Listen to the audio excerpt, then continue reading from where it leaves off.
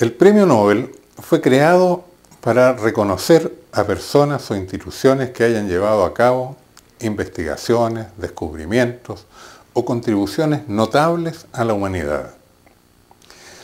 Es el galardón más importante que existe en el mundo, que se viene otorgando desde el año 1 del siglo XX.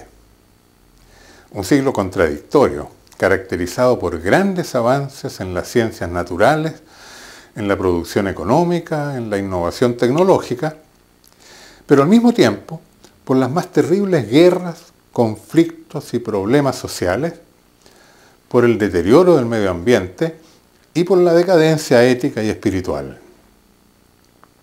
El premio Nobel ha valorizado a lo largo del tiempo la obra de muy insignes personajes que han aportado el progreso por medio de la ciencia, el arte y la política en medio de la crisis orgánica de la civilización industrial, capitalista y estatista moderna.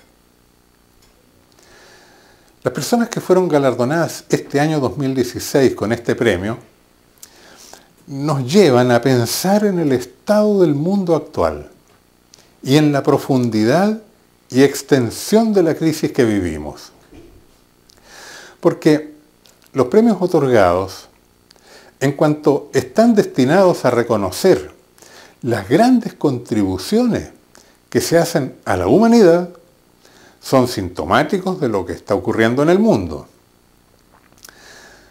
Si el premio está destinado a resaltar lo más notable y grandioso, lo excelente y eminente, analizar a quienes se les otorga nos dice mucho de qué sea lo más notable y grandioso que está ocurriendo en los distintos ámbitos en que se otorga el premio. Pues bien, el Premio Nobel de Economía fue concedido a dos académicos de la Universidad de Harvard y del MIT, Oliver Hart y Bengt Holmström, cuyo aporte, valorizado por el Nobel, fue su contribución a la teoría de los contratos en lo referente a perfeccionar aquella cláusula de los contratos que regula los bonos por desempeño que se otorgan a los ejecutivos de las corporaciones cuando las utilidades de las empresas son afectadas por circunstancias imprevisibles. Se premia el perfeccionamiento de una minucia si lo relacionamos con los grandes problemas que enfrenta la humanidad en lo económico y social. El Premio Nobel de la Paz fue concedido al presidente de Colombia, Juan Manuel Santos. Su mérito fue llegar a un acuerdo con el grupo armado de las FARC para poner fin al conflicto interno que durante 50 años ha afectado a Colombia. Pero fue un acuerdo de paz que no obstante haber contado con el sostén publicitario de los gobiernos del mundo y de las propias Naciones Unidas, no mereció la aprobación del pueblo colombiano que en el plebiscito destinado a aprobarlo, estimó que era un acuerdo imperfecto e insuficiente en muchos sentidos. Mientras tanto, los gobiernos y las propias Naciones Unidas hacen vista gorda ante muy cruentas y gravísimas guerras que están ocurriendo en el mundo. Tuvimos después el Premio Nobel de Literatura, concedido a la estrella de la música y del rock Bob Dylan. Es muy interesante reflexionar sobre el significado de esta sorpresiva elección realizada por el jurado del Nobel de Literatura. Como músico y cantautor, Bob Dylan es sin duda sobresaliente. Las letras de varias de sus canciones son, de muchas de sus canciones son hermosas y su influencia cultural es indiscutible, demostrada por la cantidad de discos y grabaciones vendidas. Si examinamos el contenido de las letras de estas canciones, reconoceremos claramente que son expresión de una clara y radical protesta social y política ante los problemas de la modernidad que afectan al mundo. Sus canciones son de contracultura. En muchas de ellas se expresa también la búsqueda de la dimensión espiritual de la vida que la modernidad ha desvalorizado y ocultado. Más allá del personaje y de su obra, la música rock, en sus diversas variantes y derivaciones, es entendida por muchos estudiosos como la expresión paradigmática de la crisis de la sociedad actual. En este sentido, el Nobel de Literatura de este año nos hace volcar la mirada a la crisis de esta civilización, a su decadencia, a la protesta social que genera, expresada bellamente por las canciones de Bob Dylan. Yo no tengo competencias para opinar si sea él un autor literario que merezca este prestigioso galardón, si él hizo realmente una contribución notable a la literatura universal. Pero no deja de sorprender que a diferencia de lo que siempre ha ocurrido, este año el Premio Nobel de Literatura no movilizó ni movilizará a las gentes hacia las librerías, sino hacia las discotecas.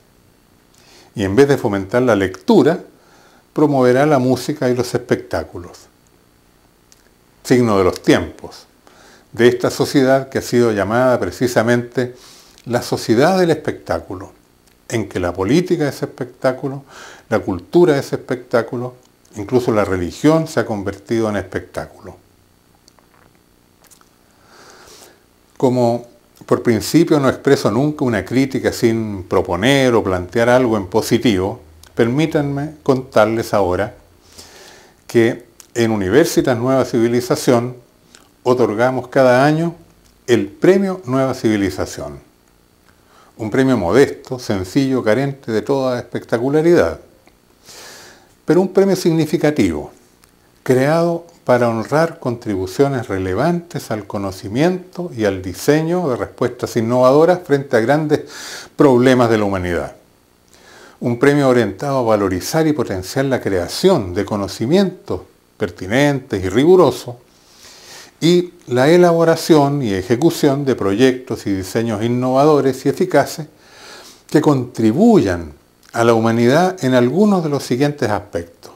Repensar la realidad de la que somos parte, reorganizar nuestros modos de habitar e interactuar en nuestro planeta, encontrar soluciones y adelantos significativos que eleven el bienestar y la calidad de vida de las personas, perfeccionar la interacción social, las organizaciones y las instituciones, cuidar el medio ambiente y conservar los equilibrios ecológicos y que apunten a transitar hacia una civilización nueva, superando las graves crisis y los múltiples desequilibrios que afectan actualmente a la sociedad.